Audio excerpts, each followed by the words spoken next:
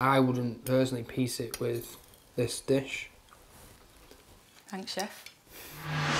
Mm, that is nice. glaze at the bottom is amazing. Even if he does say so himself. It's lovely, this food. I really enjoyed it. Yeah, well done you. You did half of it. Did some of it, didn't I?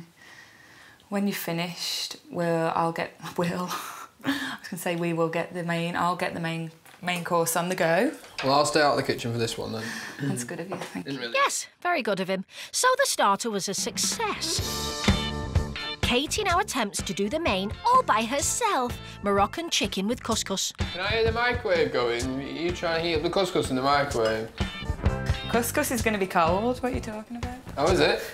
Will there be compliments to the chef? Thank you very much. Cheers.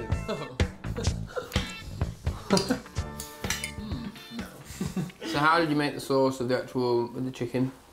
I made it with. Have you heard of sumac? The spice.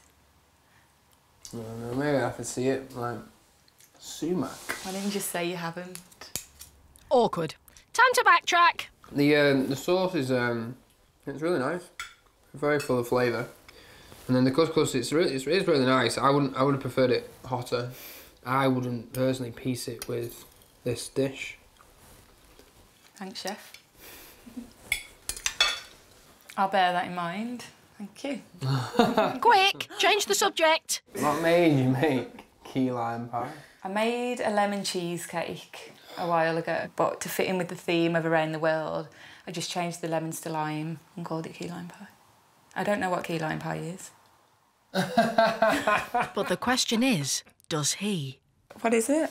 Um, yeah, no way. It's uh, I, I, I can make a key lime pie cocktail, uh, martini. That's a no then. So yeah, so I, am done anyway. Um, I can't wait to try this uh, key lime pie. That's not key lime pie.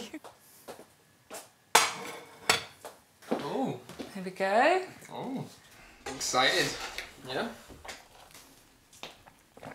It's intense. what is? Waiting for you to eat it. Why? You like it, don't you? Yeah, it's quite limey though. That's lovely, that is. Oh my god, that's gorgeous. A true key lime or not, Matthew likes it. Result? Have you had a nice time? Yeah, I have. No, well, I've enjoyed it. And thank you for welcoming me into your home. Thank you for picking my menu.